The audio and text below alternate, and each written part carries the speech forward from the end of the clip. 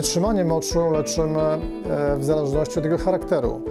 Mamy w dużym skrócie dwa rodzaje trzymania moczu. Nietrzymanie wysiłkowe, kiedy pacjentka podczas kaszlu, kichania, wysiłku e, popuszcza mimowolnie mocz oraz tak zwane glące parcia, kiedy w wyniku pewnych zmian mm, w neurologii pęcherza moczowego ten pęcherz w sposób niekontrolowany obkurcza się, prowokując naglące parcie i w tym mechanizmie nietrzymanie moczu.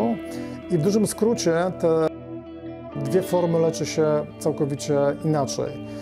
Wysiłkowe nietrzymanie moczu leczymy przede wszystkim operacyjnie. Są to operacje slingowe podwyższające cewkę moczową, gdyż tym problemie ta cewka moczowa ma e, zbyt dużą ruchomość.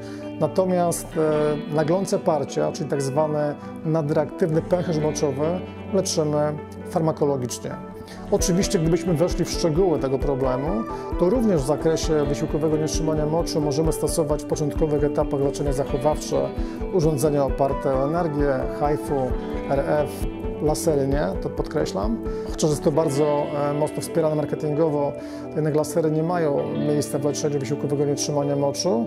Natomiast połączenie e, technik mało inwazyjnych, o których wspomniałem wcześniej, RF i HIFU, z osoczym ogatopotkowym daje bardzo fajne efekty.